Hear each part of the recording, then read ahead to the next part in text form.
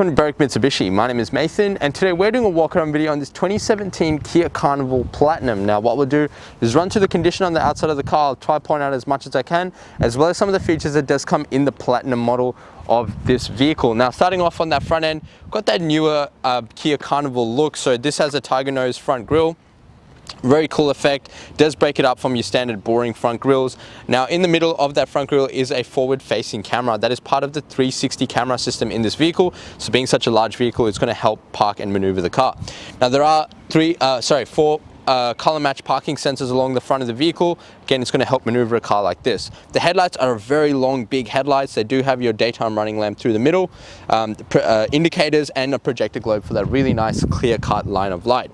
Down the bottom is fog lamp fitment and also this little thing which is on either side that is actually your headlight washers and they're going to keep these big headlights nice and clean especially on those um, dirty roads. Now coming across the side of the vehicle taking a look at these rims, you've got these very chromy 2000s um, Kia rims. They actually present really well. Now this particular rim has had a little bit of a gutter gash just on the very corner there. Very, very minimal, nothing too significant, but you can see how chromy those rims are and how much they reflect. Um, they are very clean and present quite well and you've got lots of tread on these tires.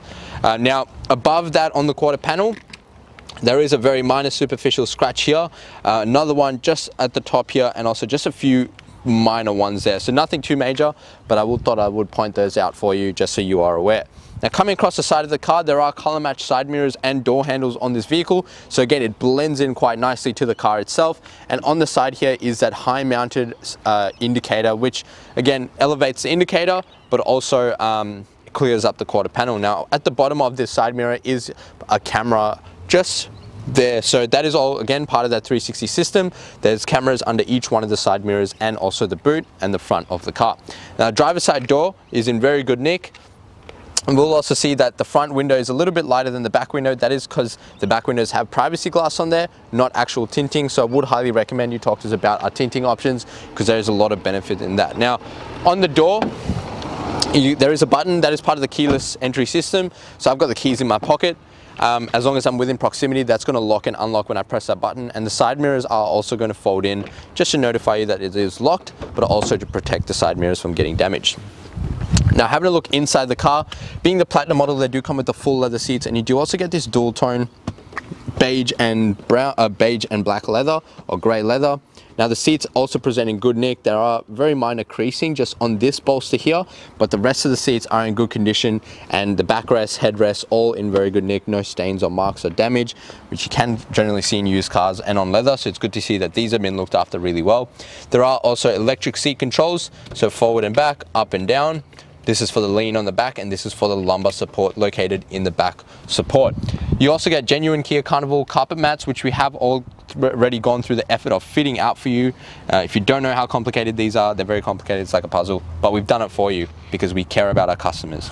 And down here is our a scuff plate as well. That is going to keep the paintwork nice and clean and it's going to prevent it from getting damaged, especially when people get in and out of the vehicle. Door card is also in pretty good nick. There's a little bit of dust and dirt here and there, but again, it is a used vehicle. It is what you'd expect, but pretty clean. Now on the rear passenger door, these are long sliding doors just under that actual handle there is a little bit of a fading mark there not sure why that's there probably get buffed out if the car goes through the workshop but just so you are aware that this mark is there but you can't really notice it. And you've got very minimal scratching just on the actual door itself along the edge side here um, and another one just on this quarter panel here. But I will point that out in a minute. But these doors are going to fully open up. They are fully electric doors so you just have to pull the latch and it's going to pretty much pull back into its position. Carpet mats already been fitted very clean fit out as well. They actually present really really well. Um, you got three seats here and three in the back, so it is an eight-seater vehicle. This middle seat can actually be completely taken out of the car if you want to use it as a spacious seven-seater. Um, easy access to the back, or you can just leave that in there. It is pretty handy to have that extra seat. Now, these seats can move forward and back, and it, they will also fold up if you wanted them to. So that is going to pull it up there, and so you want to probably do it like this. Just to access the back, you pull it up. That'll pretty much go up straight. Um, and you can access the back row pretty easily if you did want, um, want to use that feature. And there is also armrests here and on the other side, and you can pretty much do the same thing. And these will move forward and back using your standard levers located at the bottom of the seat. Now to close it, you can either pull the latch on the inside or you can pull the latch on the outside and it is going to close up like so. Now back to those little marks that I was pointing out, there is, again, a bit of superficial scratching here on the black. Don't know how well you can see it in the camera, but it is there. Another one there, and another one located there. But they are like hairline scratches. Can't really notice it too much unless you're right up next to it. Now that second rim, completely unmarked, no damage, very chromy, and got Kumho tires fitted on them with plenty of tread. Coming across to the tailgate of the vehicle, you've got the reflectors down the bottom, that genuine Kia tow bar already fitted onto the car for you. Great for camping, towing something light, maybe a dinghy or a boat. Um, reverse parking sensors which are color matched to the vehicle as well and also a reverse camera which is mounted just under the lip there. Now Kia logo right in the middle. There is a bit, a bit small scratch along there and underneath there so two pretty um, noticeable scratches. Um, when you're actually looking at it a high mounted roof spoiler with that brake light and rear wiper and washer and these also come with an automatic boot. So pressing the button is going to open up. Now there is Carnival Platinum logo there to say that it's not just your ordinary Kia Carnival tow bar tongue is fitted uh, just sitting in the boot there so that it doesn't get stolen uh, but that's there. And these back seats are also very easy to actually um, pull in and out. So you've got plenty of storage if you just wanted to utilize a full eight um, seater option or you can drop them very easily. So first what you want to do is uh, pull this. I mean it says one and two you can do it however you prefer. I like to do it this way. And then you just pull this up it detaches itself and then it'll click pretty much flat underneath. Now like so and it's just going to click in. Now the seatbelt is here, you can disconnect that seatbelt before closing it, which is probably a better option, uh, but otherwise you can just do it like so, and then pull, that needs to be locked in, sorry, like so, and then pull this up, and that'll click in like that. So pretty nice setup in these cars, very easy to actually use, um, and you know, very, very user friendly. And your jacking tools for your spare wheel is located behind this little plastic compartment. Now the spare wheel is actually located under that door over there. So just under the vehicle is where your spare wheel will be. Um, and you've got two cup holders on either side for the driver and passenger. Now tether points are located on those, um, on the middle row seats over there. To close the boot, there is a small button here. You can just press that button and it is gonna close up. There is also scuff plating there just to protect the paintwork on the inside. Now, coming across to the back of the vehicle, that third rim presents in very good condition, no damage there, lots of tread on those tires. Now, there are a few little scratches along the actual vehicle, along the top here, probably a bush because it hasn't damaged the paint, but it's scuffed in there. It'll, this car will possibly go through the workshop again and get some touch-ups done. There seems to be a dent here in the back of the car, just here. Pretty, pretty minimal, but um, it is there just so you're aware, a couple dents, two, three there. This one's a little bit longer. Um, now, I, am going to assume it's going to go through the workshop and get these little things sorted, but uh, fuel filler cap is on the passenger side, which is the safe side, and like I said, that rim is in good nick. Now, this door also, few minor scratches along the edges, another one just at the top here. This one's probably the bigger one, but still not very noticeable considering it's just on the very uh, kind of angle of that door. These are also electric doors. They're going to open up pretty easily and close just as easy. Passenger door is also very good condition. Seems to have gotten slight scuffing or damage just over here. Now, like I said, this is going to go through the workshop. So these are going to get um, buffed out and cleaned up before you actually get the vehicle and before it comes onto the yard. And that fourth and final rim, no damage whatsoever. So we've got three rims in very good condition, very minimal mark on one of them, lots of tread remaining on those tires, and you've got a very nice Kia Carnival Platinum. So what we're going to do is pop the hood and take a look inside inside the engine bay of the Kia Carnival and now you can see it, does, it is laid out pretty nicely, quite a wide engine bay. Have your coolant and uh, washer and wiper fluid all on one side so you can top that up as you um, when you check on each other. Um, there is your battery terminals on the right uh, with your positive and negative and also your few, um, sorry, your fuse box located just above that. Now your engine oil dipstick and cap are located just behind the motor there. But what we what you see in front of you is Kia's 2.2 litre turbo diesel motor. Now this car does come fitted with a six speed automatic gearbox, so lots of gears to shift through, great for towing, great for um, all your payload capabilities. Now this car has a five star ANCAP rating with six airbags, plenty of safety for the passengers in the vehicle. Now this motor produces 147 kilowatts with 440 newton meters of torque, so plenty of torque and power for your towing needs. This car has an 80 litre capacity fuel tank with um, and it does run on diesel as mentioned and it does have a combined fuel consumption of 7.7 litres per 100 or an average fuel distance of about 1039 kilometers off a full tank but that depends on how much weight you're going to be carrying around and whether you're actually going to be towing in the car as well. Now taking a look inside the Kia Carnival, very spacious vehicle, lots of room for the driver as well and plenty of buttons on the car but that is all because there's so many features and characteristics in this car but we will touch on everything. It's quite simple. So starting off on that driver's side door do get your full automatic windows. Now they are fully auto both up and down for both driver and passenger and you've got those really big windows in the back as well which are again full auto as um, and you can control them from here or from the back. Now above that is your central locking button, window lock controls and your side mirror toggles with a little button to actually fold your mirrors in if you want to do that inside the vehicle or just leave it in auto and when you actually lock the car these are going to fold in anyway. Above that you can see near the door handle there is one, two and set. Now that is for the two different pre uh, seat presets you can have on the car so if two different people are driving the vehicle you can have two different settings um, based on what each other wants and you just tap that and the car's going to remember what the layout is and it's going to adjust it. So cool little feature in this Kia. Now there is storage here and plenty of storage down here. So a lot of room in the vehicle. Just next to that is your fuel release cap.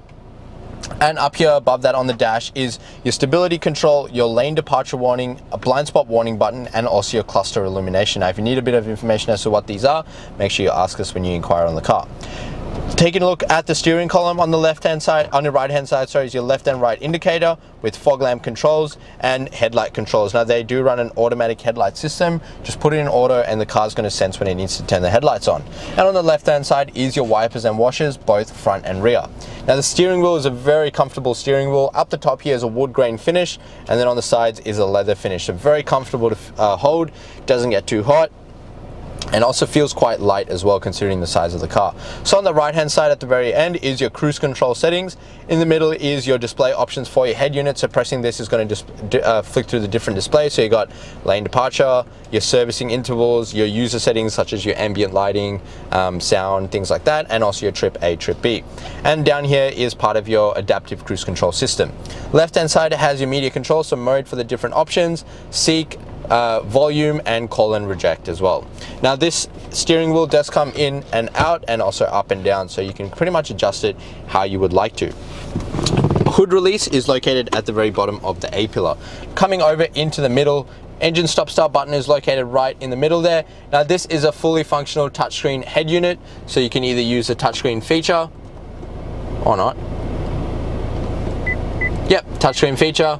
Um, so um, Stereo, as you can see, we are in the radio setting. Um, so AM, FM radio in the car and media obviously is not working because there's no extra media options connected such as your Bluetooth connectivity, MP3, CD, whatever it might be. Um, you can utilize those options and use the touchscreen for that or the hard buttons are located below um, for whatever you prefer. Now the car does also come with inbuilt navigation so you can see we are at Kangan Drive in Berwick. Nice and clear map there for you.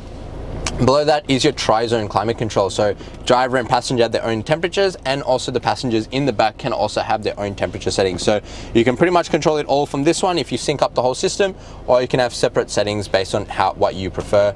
Climate button there is going to bring up the display of your temperature settings and all the hard buttons are located underneath. Now there is a USB and auxiliary input located just at the bottom here and this cool uh, little roller kind of shutter with your two spring-loaded um, cup holders which do fold away quite neatly. Now the gear shifter is a very smooth, a soft leather gear shifter. If I bring this into reverse, you'll see that reverse camera and 360 camera system in the vehicle. So on the right, 360, on the left, your reverse. Now you can adjust the camera view to kind of suit what you want. So if I press that, it's going to be specialized wide view. This is going to pull up the left side and the back. This is going to pull up the right side and the back and then this will pull up the 360 and the back. So depending on what you prefer, you can kind of select your own options. Now if I bring it down into drive and flick it to the right, that it's going to engage the sports shift system so you can accelerate, uh, sorry, not accelerate, but increase a gear and go down a gear pretty much what, based on what you prefer. If you need a bit of extra torque up a hill, you can do that or just leave it in drive. car's going to do everything for you. Behind that, is your heated seats and cooling seats for both driver and passengers. So pressing this side is going to do heating and pressing this side is going to do cooling and that is for both seats here. Uh, behind that is your steering wheel warmer. So pressing that is going to actually heat up your steering wheel so cold mornings aren't going to be as cold anymore. there is an active eco mode, parking sensors, and a 360 camera button. So pressing that will just turn on and off your 360 view, depending on what you prefer. Now you've got this very generous um, center console armrest. There are two cup holders at the back here as well. Now if I lift that up, you can see there is a storage shelf here, which you can slide forward and back. Now that has a USB input and a 12 volt socket in there and also a little compartment which you'll probably want to put your phone into when you actually plug it into the USB slot. Um, and you've got this little rail here which you can move forward and back, plenty of storage in the back and a shelf in the front. Now get the camera person to pan around. On the side of the driver's uh, passenger seat, there are controls to actually move the seat forward and back. So if the passengers at the back need a bit of room, they can adjust it themselves without you having to reach over and play around with the electric seat controls on the other side. Compartment down here with a USB slot. That'll just slide out like so. And like I said, USB slot for additional charging. Lots of room in the back, great condition on these seats. And also your rear uh, AC control so the passengers in the back can also control it themselves. Temperatures fan and all the mode settings in there but Kia Carnivals are great cars. There's lots of room in the cars as well. And I mean all the way through the vehicle and very very well uh, kitted out car with lots and lots of um, features being the platinum model. So what we're going to do now is jump outside and wrap up the video so much for watching the walk around video on this 2017 Kia Carnival Platinum. Now I hope the video gave you a good representation as to the condition of the car as well as the phenomenal amount of features that you do get in this particular model. Now it's not a perfect car, it is a used vehicle, it does have a few little marks here and there which we are going to go through the effort of cleaning up for you as best as we can. But the interior is very clean and the amount of features, this is a great family vehicle if, if this is what you want for a big family. Now if you do have any additional questions, the number to dial is 9907 Just before I go though, this car does qualify for our premium mechanical protection plan. Now what that will offer you is five years additional protection up to 200,000 kilometers and it is going to cover 181 electrical and mechanical components of this vehicle. Now it does also come with the added benefit of 10 years platinum roadside assistance nationwide. So there's a lot of value in this. If you plan on traveling with this vehicle, doing a bit of touring, make sure you ask us about this because there's going to be great value. Now with that, I would highly recommend you talk to us about our glass coat and tinting packages. Now what that will do is give, uh, will be a one-time application of a coating on your paintwork. It's going to give you a lifetime warranty on the paintwork, make it a lot easier for you to clean and maintain, and it's going to protect it from all the harsh environmental factors such as bird droppings, bat droppings, oxidization, fading, rusting, peeling, all those things that can really contaminate the paint and stop it looking this good. Um, now that will also be packaged in with some tint. Now these are at an additional cost. However, if you're using our in-house finance, would love to introduce you to our business managers, Julie and Mario, who show just how minimal these will affect your repayments. Now lastly, but most importantly, make sure you jump on a Google, search up Berwick Mitsubishi and see what people have to say about us. With over 1,100 reviews and sitting at 4.8 stars, gives you the assurance as a buyer that you're dealing with the right people and the right kind of business for a good quality vehicle. Now, as I mentioned before, if you did have any additional questions, the number to dial is 9907 My name is Nathan. Thank you so much for watching.